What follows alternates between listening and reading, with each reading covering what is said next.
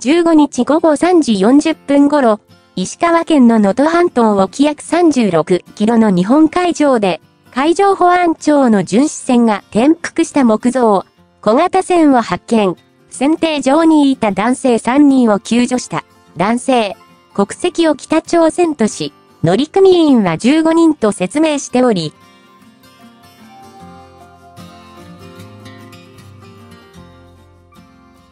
保が周辺を捜索している第9管区海上保安本部、方によると、3人は命に別状なく、漁をして北朝鮮にいる途中だったと話している、帰国を希望しており、中の線に引き渡す予定。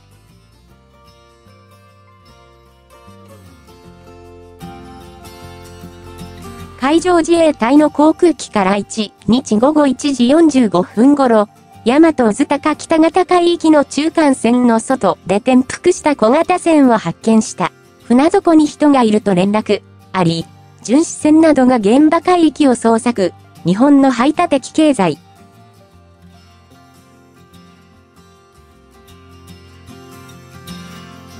域、EEZ 外で小型船を発見した。大和渦高は日、海にある大地上の旋回。スルメイカなどの工業場として、られ、北朝鮮や中国籍とみられる漁船の違法操業が横行っている日本海側では過去にも北朝鮮の漁船とみ、